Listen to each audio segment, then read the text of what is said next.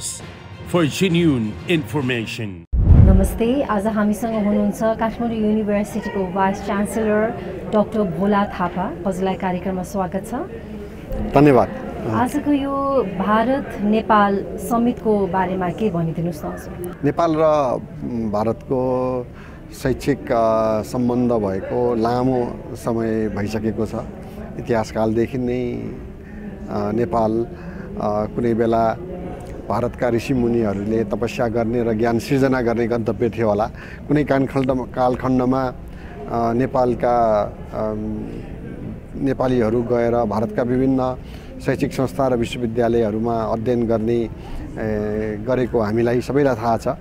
अब अहिलेको खुल्ला विश्व परिवेशमा दुई देशको बिचमा शैक्षिक आदान प्रदानहरू कस कसरी हुनसक्छ शैक्षिक क्षेत्रका मुद्दाहरू के होलान् र आपस आपसी सहयोगबाट हामी संसारको उच्च शिक्षामा कसरी सँगै काम गर्न सक्नु सक्छौँ होला भन्ने उद्देश्य राखेर हामीले अ, यो भारत नेपाल शैक्षिक भेटघाटको कार्यक्रम र सोही अवसरमा नेपाल र के भारत एसोसिएसन अफ इन्डियन युनिभर्सिटीको भाइस चान्सलर्स कन्फरेन्स नर्थ जोनको भाइस चान्सलर्स कन्फरेन्स पनि आयोजना गरेका हौँ। नेपालबाट लाखौँको सङ्ख्यामा नेपाली विद्यार्थीहरू बाहिरिरहेका छन्। नेपाली विद्यार्थीहरूलाई चाहिँ नेपालमै बस्नको लागि चाहिँ हामीले के कस्तो गर्नु सकिन्छ? युवाहरूको एक ठाउँबाट अर्को ठाउँमा सर्ने बसाइ सर्ने अथवा सर्ने भन्ने कुरा हामीलाई जुन हामी जुन युथ माइग्रेसन भन्छौँ यो एउटा प्राकृतिक चिज पनि रहेछ। कुनै बेला हामी सायद नेपालकै गाउँबाट सहर आयौँ होला। आज अलि सम्पन्न भएको हुनाले नेपालका सहरहरूबाट विदेश जाने लहर चलेको अब हिजो कोही कामको खोजीको लागि गयौँ होला। आज पढ्नको लागि भनेर पनि गएको छौँ। र सायद कुनै कुनै देशहरूमा चाहिँ नि काम गर्न जानुभन्दा पढ्न जानको लागि सहजै त्यहाँबाट स्वीकृत पाइन्छ होला भिसा पाइन्छ होला। त्यसकारण नै पढ्न जाने बाहनामा धेरैजना नेपालीहरू बाहिर जानुभएको हो कि जस्तो पनि लाग्छ। हालाकि धेरै पढ्न पनि जानुभएको होला। तैपनि यहाँले भन्नुभयो जस भन्नुभएको जस्तै अहिले देशको पछिल्लो आँकडाहरूमा लाखौँ युवाहरू विदेश गए र विदेश जानको लागि पनि शिक्षा मन्त्रालयमा गएर नो अब्जेक्सन सर्टिफिकेट लिएर वैदेशिक मुद्रा सटै गरेरै गएको छ भनिराख्दाखेरि यो एउटा हामी सबै शिक्षा क्षेत्रमा लागेको र सम्पूर्ण देशको नै चिन्ताको विषय हो। र यस्ता विषयहरू यो हाम्रो मात्रै चिन्ताको विषय होला कि अरू देशहरूमा के होला अरू देशमा विद्यार्थी आएका मात्रै होलान् कि कि त्यहाँका विद्यार्थी पनि गएका होलान् भन्दाखेरि हिजो मात्रै हामीले यही सम्मेलनको दौरान हिजो छलफल गर्दाखेरि एउटा आँकडा भारतबाट भारतमा पनि हजारौँ विद्यार्थीहरू विदेशबाट पढ्न आउँछन् तर उसको त दसौँ लाख विद्यार्थी विदेशमा जाँदो रहेछन् पश्चिमा देशमा जाँदो रहेछन्। भन्दाखेरि यो समस्या सबै देशमा छ तर जुन जनसङ्ख्याको अनुपातमा अथवा बाह्र कक्षा पढेर विश्वविद्यालय जानको लागि तयार भएको समूह नेपालको कन्टेक्समा चाहिँ यो झन् झन्डै पचास प्रतिशत नै गए कि दुई लाख विद्यार्थी हायर सेकेन्डरी बोर्ड पास भइराख्दाखेरि एक लाखै जानु भनेको अलिकति समस्या हो। र जुन हिसाबमा नेपालमा नयाँ विश्वविद्यालयहरू खुल्दै गए र नेपालका विश्वविद्यालयहरूको भर्ना क्षमता थियो नेपालका विश्वविद्यालयहरू चाहिँ खाली रहने नेपालीहरू चाहिँ विदेशी विश्वविद्यालयमा जाने चाहिँ चिन्ताको विषय हो। पछिल्लो समयमा हेर्दाखेरि नेपालको एडुकेसनमा अलिकति पोलिटिकल इन्टरफेरेन्सहरू पनि धेरै नै भइरहेका छन्। यसको विषयमा चाहिँ हजुर के भन्न चाहनुहुन्छ? अब शिक्षामा राजनीतिकरण भयो भने हामी सबैले भनिराखेका छौँ। हामीले पनि विश्वविद्यालयका जो अब जिम्मेवार पदाधिकारी हामीले पनि भनेका छौँ। कहिले अब विद्यार्थीहरूले पनि भनिराख्नु भएको छ। समाजले पनि भनिराखेको छ। अब एउटा एउटा कुरा के चाहिँ के सत्य हो भने हामी लामो समय राजनैतिक सङ्क्रमणबाट गुर्ज्यौँ गुज्रियौँ। राजनैतिक परिवर्तनहरू हुँदै गयो देशमा। तत्कालीन अवस्थामा राजनीतिले त्यो राजनैतिक परिवर्तनको लागि विद्यार्थीलाई प्रयोग गरेको पनि हो। अब हामीले खोजेको सबै कुरा प्राप्त भइसक्यो भने अब त्यसै गरी राजनैतिक मुद्दाहरू विश्वविद्यालयमा अथवा शैक्षिक क्षेत्रमा उठाइराख्नुपर्ने अथवा ल्याइराख्नुपर्ने जरुरी छैन। तथापि अब यो पुरानो अवशेषहरू केही बाँकी रहेको होला। सबैको इमान्दारिता इमान्दार प्रयास भयो भने अब चाँडै नै यस कम्तीमा विश्वविद्यालयहरूबाट यो राजनीतिक गतिविधिहरूलाई हामी पर राख्न कोसिस गर्छौँ होला हामीले र सबैले चाह्यो भने त्यो पुरा पनि हुन्छ होला। इन्डियाको धेरै ठुला ठुला युनिभर्सिटिजहरू मिलेर अर्गनाइज गर्यो। काठमाडौँ युनिभर्सिटीले चाहिँ एकदमै राम्रो तरिकाले होस्ट गरेको देखिनु पायो हामीले। अब यसको आउटकमहरू चाहिँ अब आगामी दिनमा कस्तो औँला जस्तो लाग्छ? कम्तीमा अब विश्वले काठमाडौँ विश्वविद्यालय र नेपालको विश्वविद्यालयहरूलाई पनि चिन्छ। किनभने काठमाडौँ विश्वविद्यालय त हामी आयोजक भयौँ यो एसोसिएसन अफ इन्डियन युनिभर्सिटीको नर्थ जोन भाइस चान्सलर्स कन्फरेन्सको तर तिनवटा महत्त्वपूर्ण सत्रहरूमा हामीले नेपालका अरू विश्वविद्यालयको उपकुलपतिज्यूहरूलाई यी विषयहरूमा कार्यपत्र पेस गरिदिनुहोस् न। नेपालको अवस्था त्यहाँ प्रस्तुत गरिदिनुहोस् न भनेका छौँ भने भनिराख्दाखेरि अब आज नै हामीलाई झन्डै झन्डै दुई सय विश्वविद्यालयको नेतृत्वले नेपालका विश्वविद्यालयलाई चिन्ने मौका मिल्यो। र आगामी दिनमा ठ्याक्कै अब हामी कतिपय बेलामा द्विपक्षीय सम्झौताका कुरा गरिराखेका छौँ आजै। कतिपय बेलामा भविष्यमा के गर्न सकिन्छ भन्ने कुराको पहिचान गर्ने कुराहरू गरिराखेका छौँ। यसमा यो सम्मेलन सकिराख्दाखेरि कम्तीमा हामीसँग एउटा स्ट्रङ नेटवर्क हुनेछ। नेपालका युवाहरू चाहिँ युएस युके युरोपियन कन्ट्रिजहरू जानको लागि अझै इन्ट्रेस्ट देखाउँछन्। इन्डिया भन्दाखेरि चाहिँ यहाँ आजको समिटमा चाहिँ हामीले सबै इन्डियाकै युनिभर्सिटिजहरू मात्रै देख्यौँ। हजुरलाई के लाग्छ? इन्डियाको युनिभर्सिटी र बाहिरको युनिभर्सिटिजहरूमा त्यस्तो के डिफ्रेन्स यो समिट अथवा यो भाइस चान्सलर कन्फरेन्स आयोजना गरिराखेको चाहिँ नेपाली विद्यार्थीहरू त्यहाँ गए कुन ठाउँमा पठाउँदा राम्रो हुन्छ होला भन्ने हिसाबमा अवश्य होइन। हामी चाहिँ नि उल्टो हिसाबले सोचिरहेका छौँ। कसरी नेपालको एजुकेसन संसारका उत्कृष्ट उत्कृष्ट विश्वविद्यालयहरूको एजुकेसन जस्तो छ त्यस्तै भनेर हाम्रा विद्यार्थीहरूलाई देखाउनलाई र त्यो विद्यार्थीलाई यही नै रोक्नको लागि हो भने दोस्रो हामी अब यो पनि अब अलिकति पहिल्याउने कोसिस गर्छौँ कि नेपाली विद्यार्थीहरू कुन देशमा के का लागि जान्छन्? यदि विद्यार्थीहरू रोजगारीका लागि त्यो देशमा गएका रहेछन् एउटा पढ्ने बाहनामा भने हामीले रोजगारी नै सृजना गर्नु पर्यो। हाम्रा विद्यार्थीहरू यस्ता विषयहरू पढ्न जान्छन् कि ती विषयहरू नेपालमा उपलब्ध छैन भन्यो भने त्यो विषयहरू हामी यहाँ त्यो त्यो त्यो करिकुलम डिजाइन गर्नु पर्यो र इम्प्लिमेन्ट गर्नु पर्यो। होइन एउटा युवा अवस्थामा मलाई केही मोबिलिटी गर्ने मन छ मलाई अर्को ठाउँ पनि हेर्नु मन छ त्यही बेलामा समय खेर नपालिकन अलिकति पढ्नु पनि मन छ हो भने हामीले त्यस्तै किसिमको कार्यक्रम विभिन्न विश्वविद्यालयहरू मिलेर विभिन्न देशहरूमा घुम्दै पढ्दै गर्ने वातावरण पनि त बचाउन सकि बनाउन सकिन्छ नि। र त्यस त्यसबाहेक हाम्रो अर्को एउटा लक्ष्य भनेको चाहिँ नि कम्तीमा नेपाली विद्यार्थीलाई नेपालमै रोक्न सकिएन भने नेपाली विद्यार्थीहरू जहाँ जहाँ जान्छन् त्यही त्यही देश र त्यही त्यही ठाउँमा काठमाडौँ विश्वविद्यालयको कार्यक्रमलाई कसरी लैजाने होला। हामी त्यहाँ गएर हाम्रो क्याम्पस स्थापना गर्न सक्दैनौँ। तर त्यहाँ भएको विश्वविद्यालय अथवा त्यहाँ भएको शैक्षिक संस्थाहरूसँग सहकार्य गरेर काठमाडौँ विश्वविद्यालयको डिग्री त्यो देश र त्यो स्थानहरूमा अफर गर्न सकियो भने त कम्तीमा नेपालीले नेपाली नै कोर्स पढ्छ। त्यसको विभिन्न आयाम होला। त्यो केही हाम्रा देशकै लागि आवश्यक किसिमको कोर्स पनि होला अथवा त्यहाँको विश्वविद्यालयमा तिर्नुभन्दा यहाँ सस्तो पनि होला भन्ने छ भने अर्को काठमाडौँ विश्वविद्यालयको अहिलेको लक्ष्य अन्तर्राष्ट्रियकरणको एउटा लक्ष्य र रणनीति भनेको हामी हाम्रा सम्पूर्ण कार्यक्रमहरूमा विदेशी विद्यार्थीहरू दस प्रतिशत पुर्याउने भन्ने हो। अहिले पनि हाम्रो आँकडा राम्रो छ। काठमाडौँ विश्वविद्यालयका टोटल ग्रेजुएटमध्ये विदेशी विद्यार्थीहरू झन् झन्डै तेह्र प्रतिशत हुनुहुन्छ। त्यो तेह्र प्रतिशत दस प्रतिशतभन्दा बढी हो तर तेह्र प्रतिशत विद्यार्थीहरू धेरै जसो मेडिकलमा हुनुहुन्छ। यदि हामीले सबै विषयहरूमा तेह्र प्रतिशत विद्यार्थी पुर्याउने हो भने अहिले भइराखेको सङ्ख्या र भन्दा र यो प्रतिशतको हिसाबले पनि धेरै माथि जान्छ।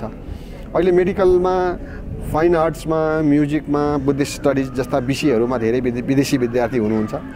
हामी इन्जिनियरिङमा ल्याउन चाहन्छौँ हामी म्यानेजमेन्टमा ल्याउन चाहन्छौँ हामी साइन्समा ल्याउन चाहन्छौँ हामी एजुकेसनमा विदेशका विद्यार्थीहरू ल्याउन चाहन्छौँ। यो सबै विदेशी विद्यार्थीहरू ल्यायो भने त नेपालको लागि एउटा आर्थिक विकासको पनि एउटा सम्भावना हुन्छ भने दूरगामी रूपमा लामो समयलाई हेर्दै हो भने चाहिँ नि। आज यहाँ पढेर गएको मान्छे बिस वर्षपछि त्यो देशको राजनैतिक नेतृत्व होला त्यो देशको यो कर्मचारी तन्त्रमा मा नेतृत्वमा पुग्ला त्यो देशको व्यापारी होला। त्यो विद्यार्थी बिस वर्षपछि नेपालको एउटा एम्बेसडर बनेर त्यो देशमा बसिदियो भने नेपालको समृद्धि बल्ल त्यहाँबाट देख्ने हो नि हामीले। अनि इन्टरनेसनल स्टुडेन्टहरू नेपालमा आएर पढ्नु खोज्दाखेरि उनीहरूलाई के त्यस्तो स्कलरसिप ग्रान्डहरू त्यस्तो के फेसिलिटिजहरू छ electrical power engineering masters in operation and planning and operation of energy system जस्ता विषयहरूमा हामीले विदेशी विद्यार्थीहरूलाई छात्रवृत्ति दिएर यहाँ बस्ने विद्वत। वृत्ति दिएर पढाएको हो। त्यो चाहिँ नि हामीले नर्वे सरकारको सहयोगमा नोराडको फेलोसिप अन्तर्गत उहाँहरूलाई ल्याएर पढायौँ उहाँहरू मात्रै होइन। उहाँहरू आउँदाखेरि उहाँहरूको परिवार बालबच्चालाई पनि यहाँ ल्याएर उहाँहरूलाई छात्रवृत्ति दिएर पढाएका थियौँ। त्यस कारण यो धुरीखेलको सानो डाँडोमा पनि एउटा अन्तर्राष्ट्रिय संस्कृति थियो। किनभने एकजना अफ्रिकी मूलका बच्चा पनि त्यहाँसँगै हुन्थे। केही पाकिस्तानी बङ्गलादेशी विद्यार्थीहरू पनि साथै साथै पढेका थिए। त्यही कारण हाम्रो आर्थिक स्रोतले भ्याए भ्याएसम्म हामी पनि केही विदेशी विद्यार्थीहरूलाई छात्रवृत्ति दिएर पढाउने कोसिस त गर्थ्यौँ तथापि हाम्रो पनि सीमित स्रोत छ। तैपनि हामीले अहिले विगत दुई वर्षदेखि नेपाल सरकारलाई पनि अनुरोध गरेको छौँ। कम्तीमा प्रति वर्ष हामी सातवटा स्कलरसिप हाम्रो सातवटा स्कुल छ। सातवटा स्कलरसिप हामी नेपाल सरकारलाई दिन्छौँ। जुन स्कलरसिप अन्तर्गत नेपाल सरकारले विदेशी विद्यार्थीहरू यहाँ ल्याए हुन्थ्यो त्यो भन्दाखेरि स्कलरसिप भन्दाखेरि कम्तीमा हामी उहाँहरूको फी वेभ गर्न सक्छौँ र उहाँहरूलाई बस्न पनि हामी कम्तीमा हाम्रो यहाँ इन्टरनेसनल होस्टेलमा दिन्छौँ। भारत नेपाल समिट होइन। अब यस्तै समिट हामीले अरू कन्ट्रीहरूसँग पनि कोलाबोरेट गरेर गर्न सक्छौँ नि। इन्टरनेसनल स्टुडेन्ट्सहरूलाई नेपालमा प्रोत्साहन गर्नुको लागि एडुकेसन हायर एडुकेसनको लागि। यो डेफिनेटली यो हामीले पहिलो गरेको पनि होइन। यो स्केलमा चाहिँ पहिलो भयो। यति धेरै उपकुलपतिहरू चाहिँ नि आउनुभयो हामीले टु थाउजन्ड नाइन्टिन मलाई एक्ज्याक्ट इयर त याद भएन तर एसियन युनिभर्सिटी फोरम भनेर त्यो बेलामा पनि झन् झन् बिसजना जति भाइस चान्सलर जसमा चाहिँ नि अ, एसियन कन्ट्रीका एसियाका कोरिया मलेसिया म्यानमार भियतनाम मङ्गोलियाका भाइस चान्सलरहरू आएर पहिला पनि यस्तो सम्मेलन गरिसकेका थियौँ। त्यो अलिक सानो स्केलमा भयो थोरै भयो। त्यसबाहेक साउथ एसियन स्टुडेन्ट्सको फेस्टिभल पनि आयोजना गरेको थियौँ। त्यसमा चाहिँ नि प्राज्ञिक भन्दा पनि सांस्कृतिक खेल सांस्कृतिक मुख्यतः सांस्कृतिक कुराहरूको बारेमा छलफल गरेका थियौँ।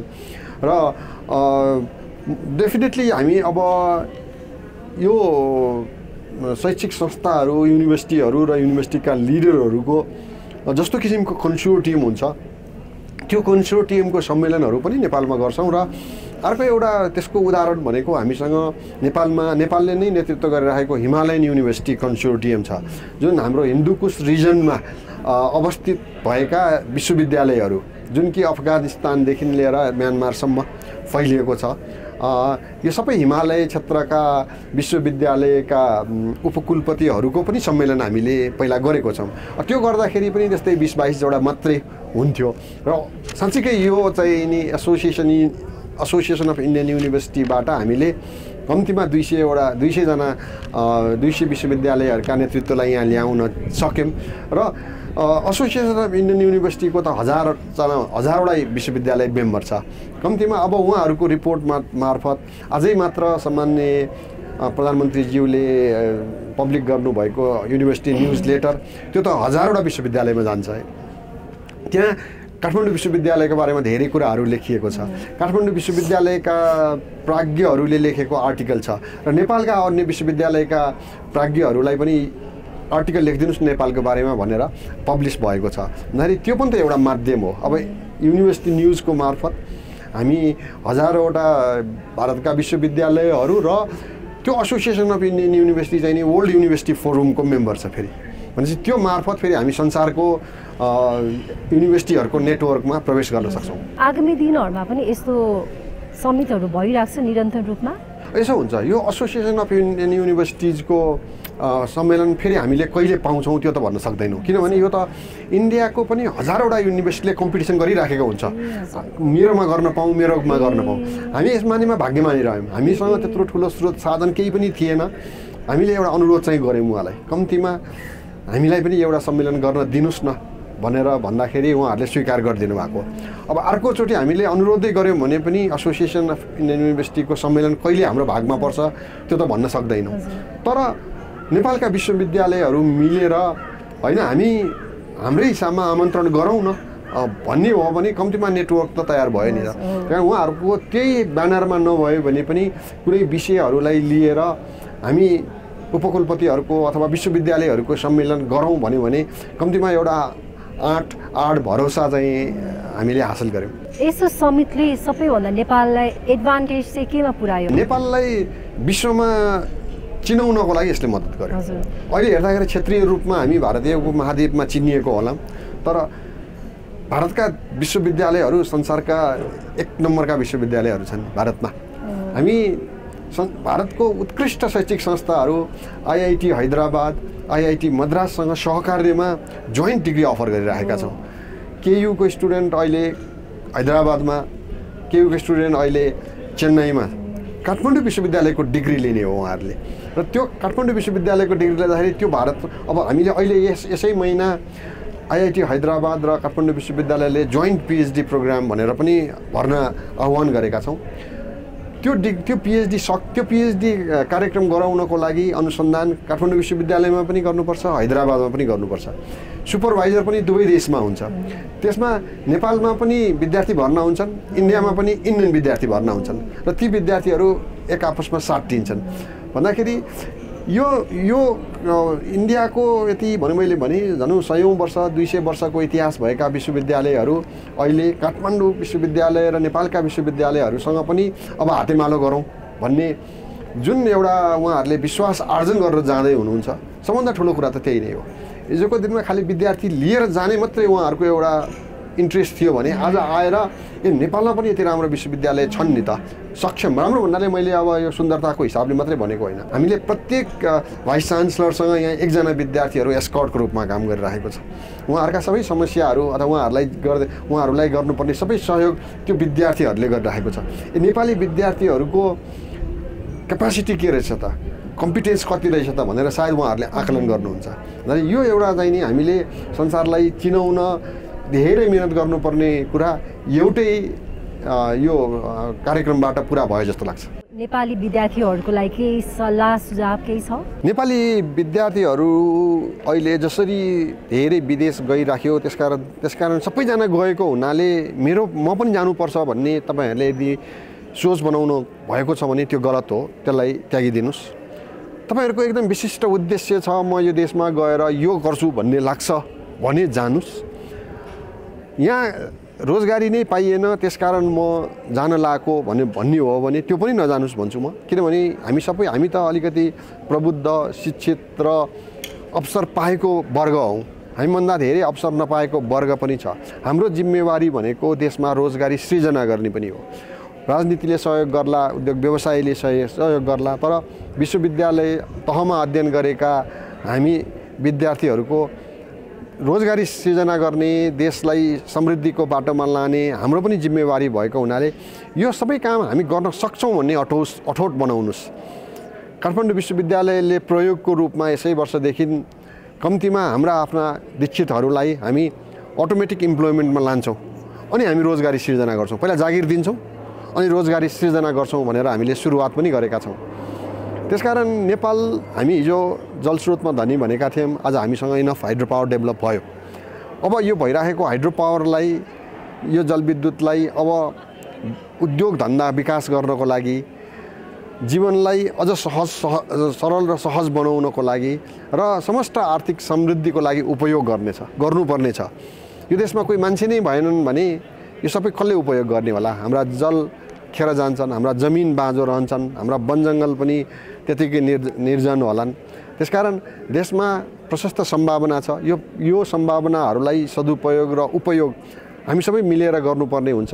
त्यसकारण तपाईँहरूको खालि विदेशै जानुपर्छ भन्ने एउटा सोच बनाउनु भएको छ भने यो सोचमा बिस्तारै परिवर्तन गर्नुहोस्। नेपालका विश्वविद्यालयहरूको क्यापासिटी कम्पिटेन्सलाई तपाईँहरू प परख्नुहोस् चेक गर्नुहोस्। होइन चित्तै बुझेन छ भने त्यसपछि जानुहोस् तर लहै लहैमा लागेर बाह्र कक्षा पढ्दाखेरि नेपालको विश्वविद्यालयको बारेमा के पनि नबुझिकन आर्थिक भार बोकेर परिवारलाई ऋण बोकाएर विदेश चाहिँ नजानुहोस् हजुरको समयको लागि धेरै धेरै धन्यवाद। धन्यवाद धेरै धेरै धन्यवाद। कम्तीमा काठमाडौँ विश्वविद्यालयको बारेमा र यो सम्मेलनको बारेमा पनि जानकारी दिने मौका दिनुभयो। यसको लागि पुनः धन्यवाद दिन चाहन्छु। धन्यवाद। आज हामीसँग हुनुहुन्थ्यो काठमाडौँ युनिभर्सिटीको भाइस च्यान्सलर भोला थापा। आजको एपिसोड हजुरहरूलाई कस्तो लाग्यो? सल्लाह सुझाव दिँदै गर्नुहोला र अर्को साता हामी नयाँ एपिसोडको साथ उपस्थित हुनेछौँ। हेर्दै गर्नुहोला हिमालयन टेलिभिजन। नमस्ते। For genuine information.